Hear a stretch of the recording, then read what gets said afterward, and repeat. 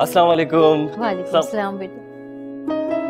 बहराम वलीद कैसे हो you man? What a pleasant surprise यार। To see you यार। Same here अरे क्या तुम दोनों एक दूसरे को जानते हो? मॉम ये मेरा बैचमेट था। हमारी दोस्ती ज़्यादा पुरानी तो नहीं है लेकिन है बहुत अच्छी। Exactly. Uh, please uh, बैठो। So what's new? बहराम बेटा तुमने मुझे बताया क्यों नहीं कि तुम और वलीद एक दूसरे को जानते हो? मॉम मुझे कहाँ पता था? आपके सामने ही तो मुलाकात हुई है। Well it's a pleasant surprise. दुनिया कितनी छोटी है यार। यार वाकई। बिल्कुल कोई फिल्मी सीन हो गया ये है? इत्तेफाक बल्कि मैं तो कहूँगा हसीन इत्तेफाक। आंटी आप लोग प्लीज़ बैठे मैं मॉम को इन्फॉर्म कर दूँ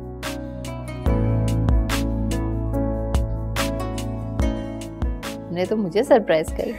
वाकई सीरियसली बहुत अच्छा लड़का है ये। हम्म। अल्लाह शहजाद जी मैं आपको क्या बताऊँ? आपकी बहन ने मेरा जीना हराम करके रखा हुआ। अरे इतनी छोटी सी बात थी।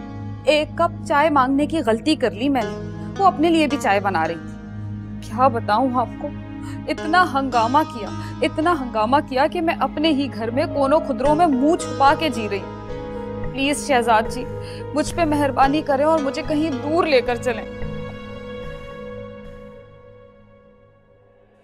प्लीज़ शहजाद जी, मुझ पे मेहरबानी करें और मुझे कहीं दूर लेकर चलें।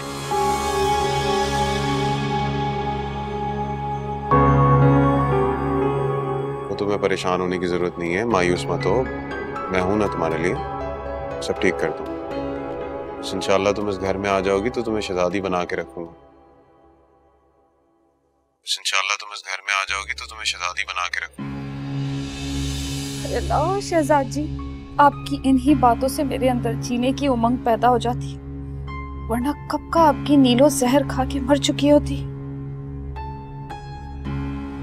वरना कब का आपकी नीलो जहर खा के मर चुकी होती। खबरदार जो तुमने आइंदा ऐसी कोई बात की मायूस होने की बिल्कुल ज़रूरत नहीं है। मैंने कहा ना मैं हूँ साइमा को तो ऐसा सबक सिखाऊँगा ना मैं। पता लग जाएगा उसे अपना घर पर आया कैसे होता है। मैं हूँ तुम्हारे लिए। परेशान नहीं होना नीला।